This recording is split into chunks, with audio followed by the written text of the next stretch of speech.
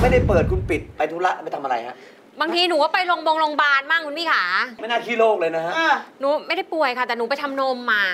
ทำทำไม หาขายกุ้งทำนมทำไม เอาทำทำไม นี่เป็นเรื่องของเขาคุณป้าเขาเขาจะทำอะไรเป็นเรื่องของเขากระเปิดกระเปิด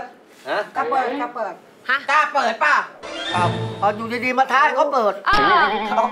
เขาไปทำมาเพราะว่าเขาก็อยากจะสวยงามเพใช่ราะว่าทำจมูกทำหน้าทำนมได้ใช่ค่ะใช่มันเรื่องของเขาที่เขาไปหาหมอ เพราะว่าเขาต้องไปดูแลว่าเขาทำมันมันดีหรือเปล่าหมอใช่ ว่าไปไป ถ้างั้นก็ไปเปิดขายที่โรงพยาบาลไปเลยไง ไม่ต้องมาขายที่ตึกฉันหรอกขนาดผมขายยาดอง ผมยังไปฉีดเพิ่มมาเลยฉีดอะไร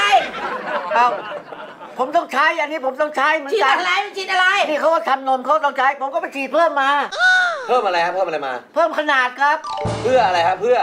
ให้มันดูน่ากลัวไง แล้วเกี่ยวอะไรกับยาดองฮะเกี่ยวนี่ครับพอกินยาดองไปแล้วมันจะเกิดอารมณ์ครับยาดองบังขึ้นมา ฉีดเพื่ออะไร เอาฉีดแล้วไม่ได้เล่นได้ใช้เปล่า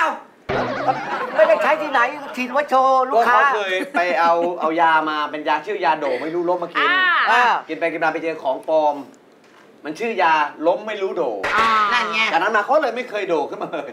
แล้วคนจิตใจไม่สะอาดไงแต่เขาโดขึ้นมาแต่เขาไม่มีเมียนะฮะเขาโดขึ้นมาจะให้เขาไปลงที่ไหนคุณป้าอ้าวก็ไปลงที่ร้านทำนมไงเนี่ยโอ้ใกล้ๆกันไงถ้าร้านทำนมเขาไม่ว่างเขาไม่อยู่เขาปิดให้ไปลงที่ไหนคุณเอาป้าก็ไปลงหมาหน้าเซเว่นเลยไงมาพ่มเหรอ